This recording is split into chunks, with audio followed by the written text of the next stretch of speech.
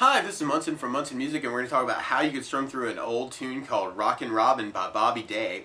And I'm going to be working off the Bobby Day version, but if you want to play along with Michael Jackson, or the Jackson 5 version, what you want to do is capo on 7th fret, and it will be almost exactly the, the same thing.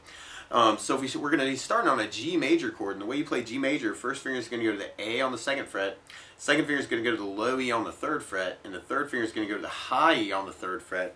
And if you strum all those together, that sounds a G major chord and it sounds really, really happy. And then from G major, we're, we're going to be going to a C major chord. And the way you play C major, first finger is going to go B string on the first fret, second finger on the D on the second fret, and third finger on the A string on the third fret.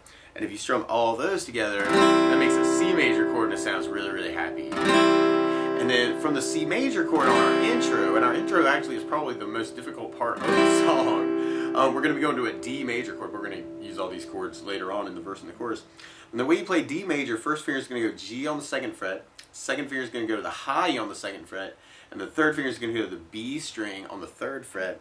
And with D major, you want to strum just the top four strings, just D, G, B, and E, kind of get the clear sound. And that's called D major. It sounds really, really happy. But on our intro, we kind of have the G major, da, da, da, and then C major, D major, major, C major, D major, G major, C major, D major, and then we do a G with kind of a down, down, down, down. And what I like to do with that part is I'm kind of just taking my right hand and kind of killing the string. So I'm going down, down, kill it, But a lot of times to make that, that more interesting, a lot of times I like adding what I call a strum pattern to it. And one of my favorite strum patterns for a 4-4 like this is down, down, up, up, down, up. So we took the G and just tried that out. You have down, down, up,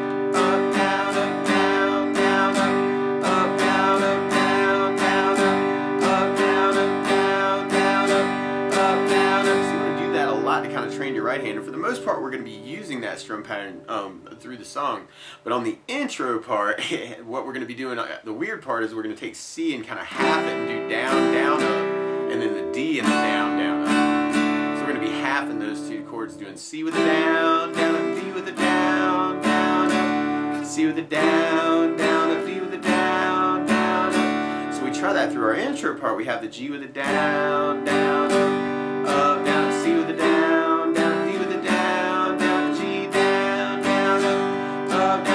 a down, down, with a down, down, with a down, down, up, up, down, with a down, down, with a down, down, G down, down, kill it, G down, down, kill it. And then from there we're going into our verse.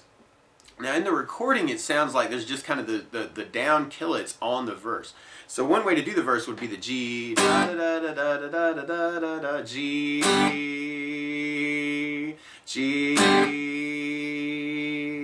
G so that would be one way to do your verses, would be just doing that down kill it on it. Now if you want to fill that in with the strum pattern, um, then you'd be doing that whole strum pattern on the G down, down, up,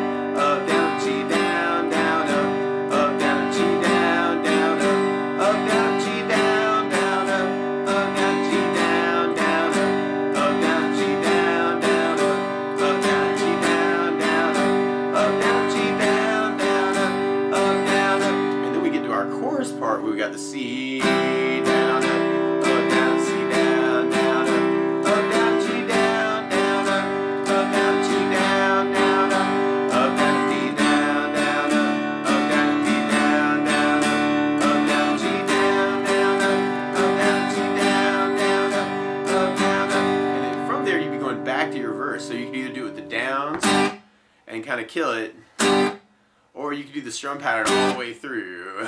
so kind of options on that. Um, so just try the, that strumming again. You got the G down, down, up, up, down,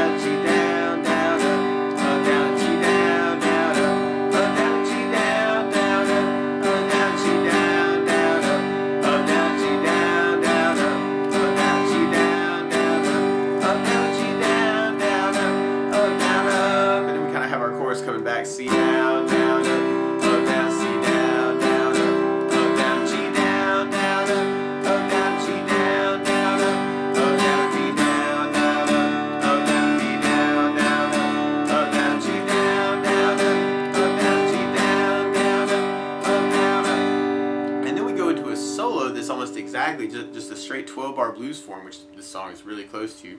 You got that G down, down, up, up, down, G down,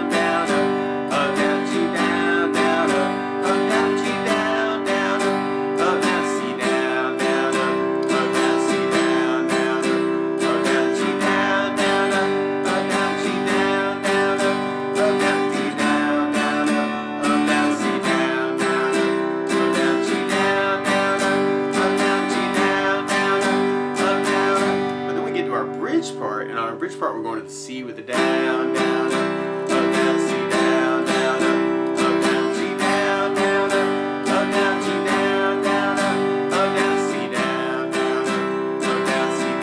down, up, up, down. We do our D with kind of the big down and kind of kill it. And then we're back to our verses again. So just to do that with the kill it thing, you got D da da da da da G G G then you'd be picking it back up on the chorus again. C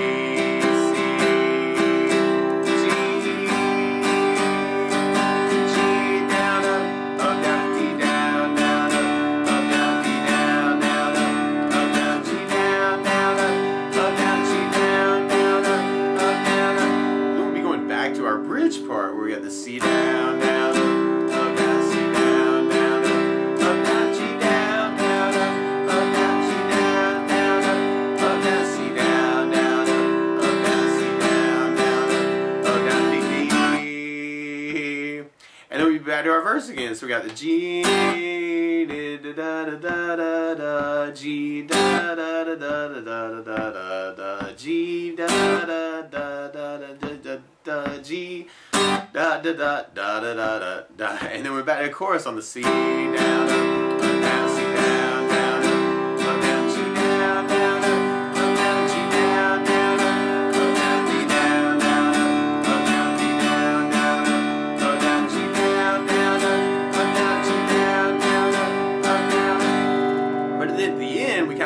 intro coming back for for our outro.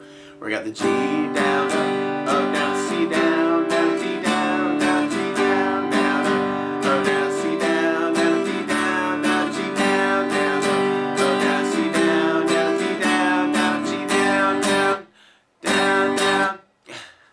So that's the basics of how you could strum through Rockin' Robin by, by Bobby Day, or if you want to play along with Michael Jackson, like I said, just capo on 7th fret, and you could use exactly the same arrangement. So, good luck!